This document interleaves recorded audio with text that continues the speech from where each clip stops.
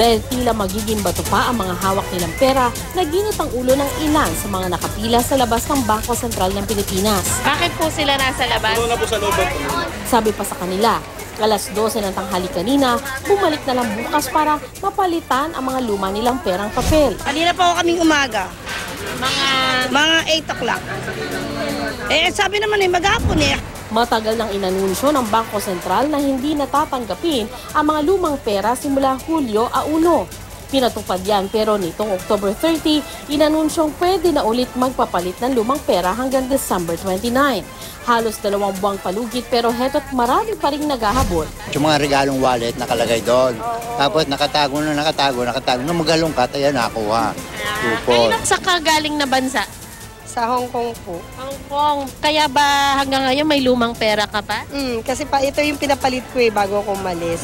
Pagbalik, hindi na siya pwede. I got uh, given some back in Australia from a friend, and he didn't know they were old, so um, now I have to change them for him. Yeah, I have like 500 Australian dollars worth, maybe 20,000. Bago mag alas 2 ng hapon ay pinapasok din ang mga tao.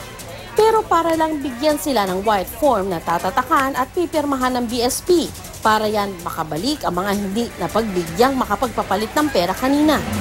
May bago limang pisong barya rin kung saan si Bonifacio na ang bida, bagamat tinatanggap pa rin naman ang mga bariyang may imahe ni Aguinaldo.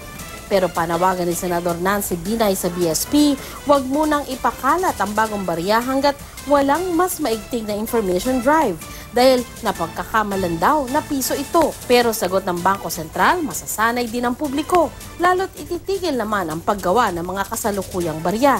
Hindi raw epektibo na unahin ang information campaign dahil kailangan makita ng publiko ang bagong barya. Inilabas ang barya kasabay ng anunsyo kaugnay nito. Ako si Sandra Aguinaldo, ang inyong saksi.